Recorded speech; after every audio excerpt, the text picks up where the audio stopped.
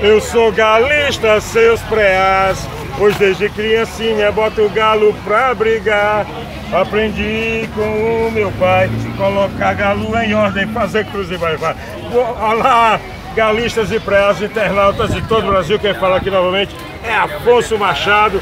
Como eu prometi a vocês, retornei a barraca aqui do seu Rogério para falar desta feita sobre o mel. Eu vou mostrar que o homem tem castanha aqui, o homem vende fumo, rapaz, de todo tamanho, de todo jeito. E vamos lá, porque a galeria do celular tá carregada, ó. Aqui é rapadura de caju.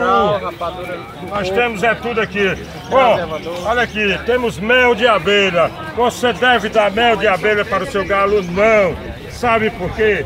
Porque você não sabe de que, de que flor, foi, de que planta foi feito esse mel, tá entendendo?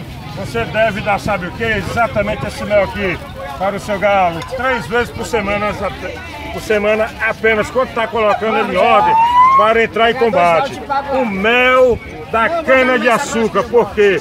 Porque no, no mel da cana de açúcar você vai encontrar o que? A vitamina K, entendeu? Que evita que o galo, o galo sangre, ou seja, que ele tenha uma hemorragia durante o combate. E dê apenas uma colherzinha de chá ou um CC tá na seringa uma, três vezes por semana, porque se você der demais, o galo vai endurecer e vai diminuir a velocidade, vai bater menos do que ele tem capacidade. No mais, agradecer a Deus, a Jesus a espiritualidade por mais um vídeo bacana.